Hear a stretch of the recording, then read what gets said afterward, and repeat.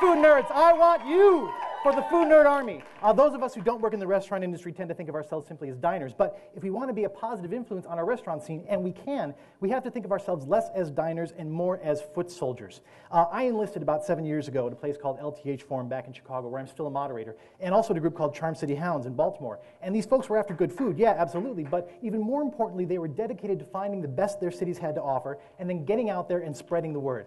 Um, when I first moved to Phoenix a couple years ago, a friend here asked me if I thought that Phoenix or Baltimore had a better restaurant scene. I said, well, you know, there's a whole lot more to work with here, but frankly, I kind of feel like the guys back in Baltimore got more out of what they had because, man, they were organized and they were relentless. And I told him the story of Grace Garden. Um, there was a running gag back in Baltimore that the Chinese food there was terrible. I mean, it was all Americanized, it was all cheap, it was greasy, it was awful.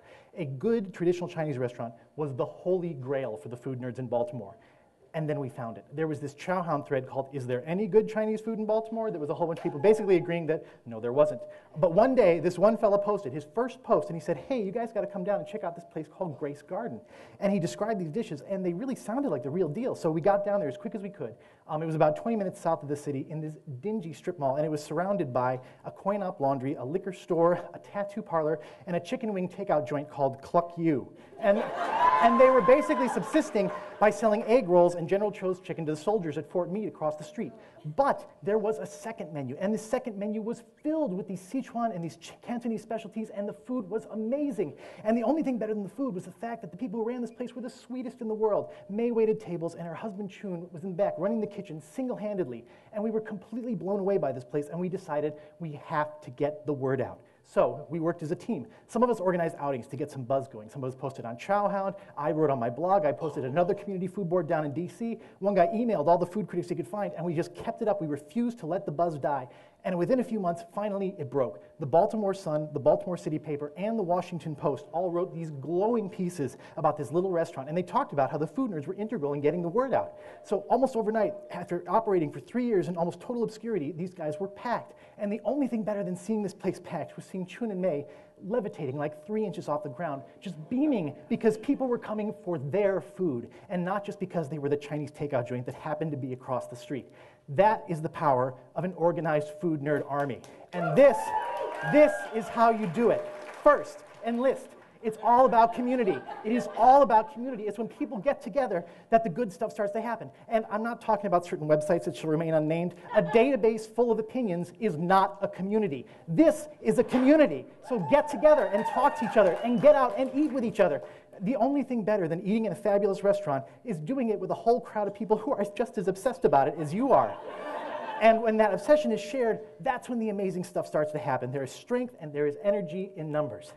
Next, you got to train. So you got a crowd of food nerds, use them, talk to each other, and listen to each other, and learn from each other. Those websites, unfortunately, are more focused on output than they are on discussion, and let's do something about that, by the way. Come talk to me. But, you know, use what you've got. Do what you can to discuss as much as possible. Also, read a book, get online, do a little research.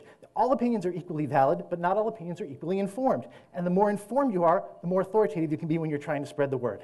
Next, deploy. There are restaurants out there that are in fabulous places and they have huge PR budgets and they have big name chefs, and some of them are completely awesome and they deserve all the support they get.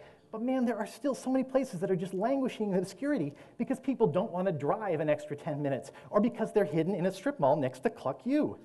You know, you got to get boots on the ground and pound the pavement.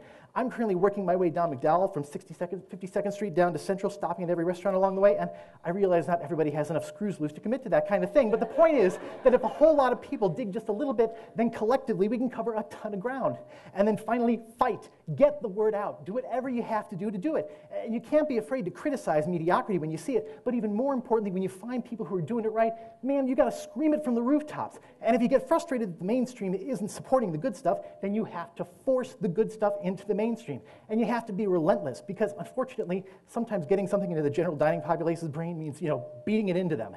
So I realize that to a large extent I might be preaching to the choir here, but I feel like even among the hardcore food nerds, there's still this tendency to kind of sit on the sidelines and work within these little bubbles.